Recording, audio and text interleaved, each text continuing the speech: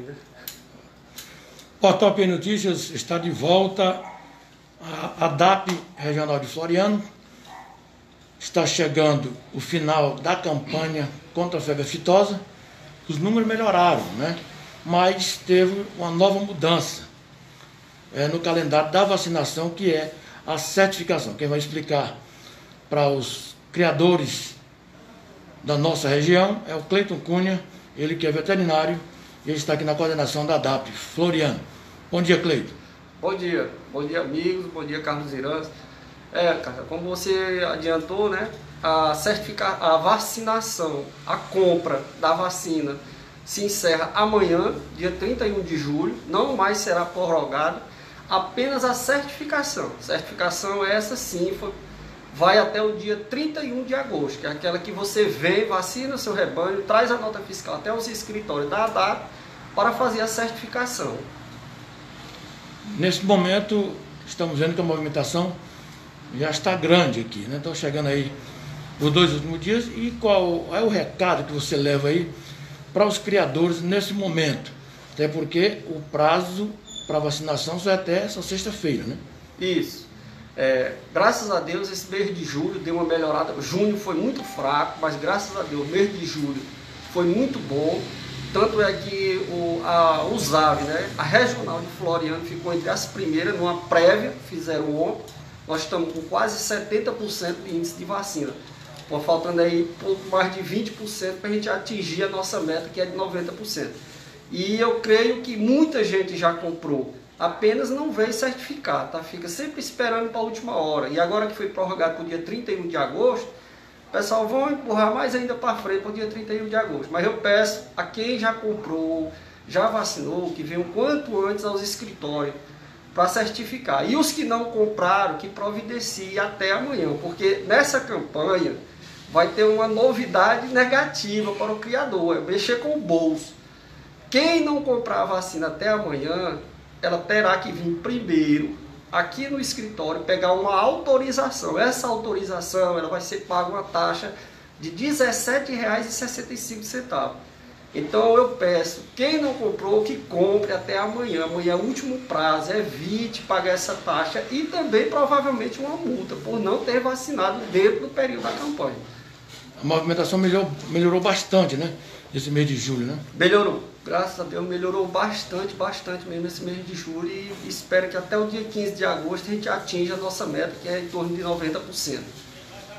Significa dizer que os criadores estão ouvindo o recado, né? Estão vindo, né? até porque a necessidade, porque quando vacina os animais, eles ficam mais valorizados. Né? É, exatamente. Você vacina o seu gado, ele fica valorizado porque você pode emitir uma GTA que quem vai comprar vai exigir essa GTA para levar para fora do estado ou até mesmo aqui dentro do estado. Então, você só pode emitir essa GTA se você vacinar o seu rebanho contra a febre aftosa. Muito obrigado, Cleiton. Nada, eu agradeço a vocês pela força. Pois é, a gente agora já aproveita, já faz outra matéria aqui na DAP, que é a situação do matagal que estava tomando conta da entidade. Mas o Cleide também já tomou providência, porque ele viu aqui o mato muito seco, tomando de conta aqui da entidade. Né? Aqui está aquela situação.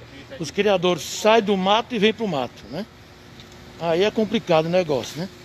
Então a gente temos que fazer a matéria ali com o Cleito e a gente aproveita aqui, mostrando a situação que está aqui, a DAP de Floriano para recepcionar os criadores, né? Então aqui é o acesso que dá a entrada a DAP de Floriano, viu? Então tá aí, ó. Matagal total, uma coisa absurda, né? Lá em cima você tá vendo lá o nome, ó. Agência de Defesa Agropecuária do Estado do Piauí, ADAP. E o descaso com os criadores e também com os servidores, né? Mas o Cleito conversou ontem com o secretário de Infraestrutura Assis Carvalho para que pudesse providenciar uma limpeza aqui o mais depressa possível, porque alguém jogar um, um palito de fósforo aqui pega fogo em carro, em tudo aqui, os carros que ficam aqui nesse momento. Então, a, equipe da Secretaria de Infraestrutura já recebeu a recomendação do secretário, já se encontra aqui no local para poder começar a fazer essa limpeza. Aqui tem carro Isso aqui é igual a pólvora, né? Jogou um palito de fósforo aqui, pega fogo até nos carros aqui. Mas a equipe já está chegando por aqui. Foi um pedido do Cleito, que é o. está coordenando a ADAP, né? E a, a equipe já se encontra aqui para começar a fazer a limpeza. Então deve, deve limpar tudo, companheiro? Até lá na frente ali? É ter, amigo. É, né? É tudo, né? É. Limpar tudo, né? É, limpar então vocês já vieram na missão enviada pelo secretário, né? Foi. É, o negócio aqui realmente estava muito feio e a gente veio presenciar, né? Nesse momento chegando mais um dos homens aí da equipe da infraestrutura. Então, o secretário Assis já atendeu o pedido, ontem mesmo foi feito esse pedido, né? Porque o negócio aqui tá bravo, tá feio e nesse momento já deve ter sido, vai se tomar as providências, devidas providências para que possa limpar aqui e dar o melhor acesso para os criadores. Porque hoje e amanhã são os dois últimos dias de vacinação.